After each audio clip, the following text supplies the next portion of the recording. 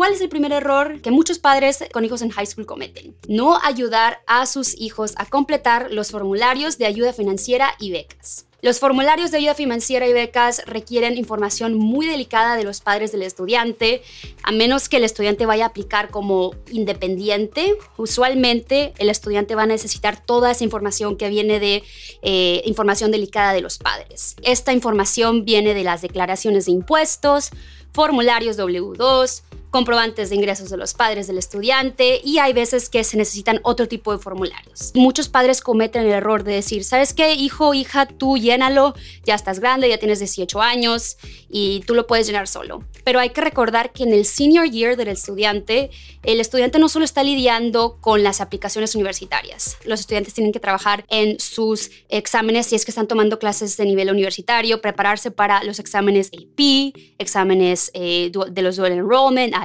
También se tienen que enfocar en las actividades extracurriculares, si es que están practicando algún deporte, si son parte de algún club de teatro o algún club que tienen una posición de liderazgo. Aplicar a becas, porque pues siempre recomendamos que los estudiantes estén aplicando a becas constantemente, a becas privadas. En pocas palabras, hay muchas responsabilidades y muchos padres eh, no saben que hay veces que los estudiantes sí necesitan ayuda. Así que es importante que no solo los estudiantes los padres y los estudiantes hagan equipo y se ayuden unos a otros a llenar estos formularios, pero también que se llenen de manera correcta y se llenen a tiempo.